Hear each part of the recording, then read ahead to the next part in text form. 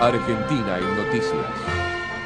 El sector agroalimentario liquidó 24.143 millones de dólares por exportaciones en 2014. De esta forma, la liquidación de divisas del sector agroexportador superó los desembolsos de 2013 y 2012 y se ubicó apenas por debajo del récord de 2011 cuando se liquidaron 25.133 millones de dólares. De acuerdo con la información de la Cámara de la Industria Aceitera de la República Argentina y el Centro de Exportadores de Cereales, solo entre el 29 de diciembre y el 2 de enero de este año 2015 se liquidaron poco más de 400 millones de dólares.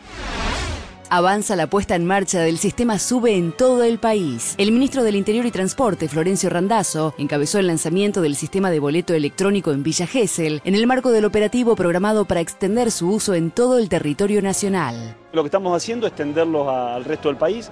Hoy estamos en esta eh, ciudad de Villa Gesell, donde el 70% de los que eh, vacacionan acá son del AMBA, así que disponen ya de la de la tarjeta eh, sube y de esta forma les va a permitir utilizar la misma tarjeta que utilizan a diario para moverse eh, de la casa de su trabajo o, a la universidad, donde sea, para moverse en este caso en la ciudad de Villa Gesell. Y en pocos días más estamos instrumentándolo en la ciudad de Mar del Plata.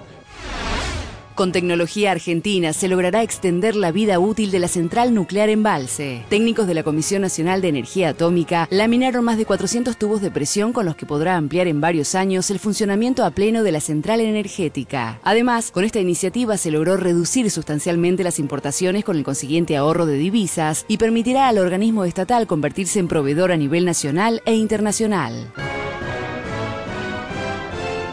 Argentina en noticias. Panorama informativo de Argentina.ar